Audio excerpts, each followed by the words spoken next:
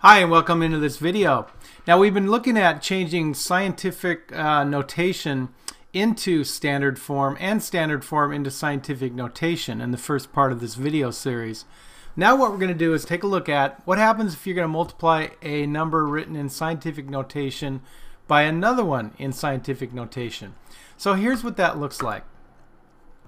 Now this is scientific notation. Remember the idea is the first part is the value between 1 and 10 and you have a power of 10. So what happens if you're multiplying that by that? What happens? Well, you're going to multiply the coefficients or the index numbers here together first. So that will give us 24 times, and then of course it's 10 to the fifth times 10 to the third. Now remember your properties of exponents where you have the same bases, so you're going to add the powers together. So that'll give us 24 times 10 to the eighth power. Remember to add the exponents. Now what we've got to look at is this is not in scientific notation as an answer yet.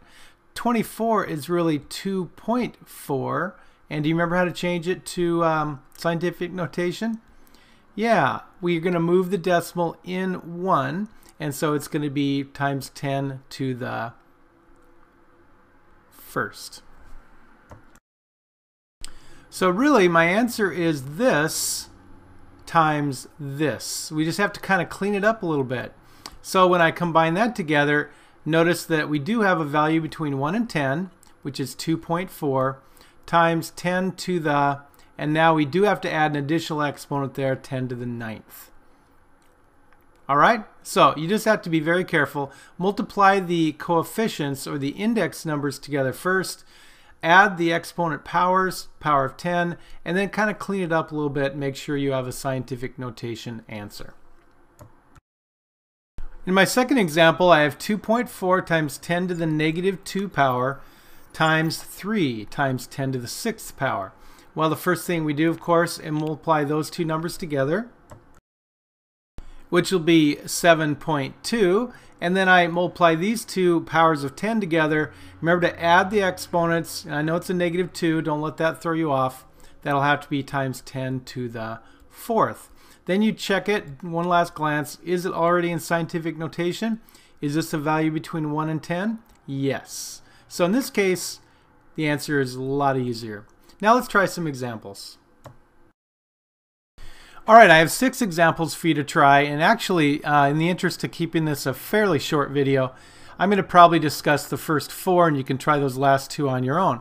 But pause the video and give it a shot.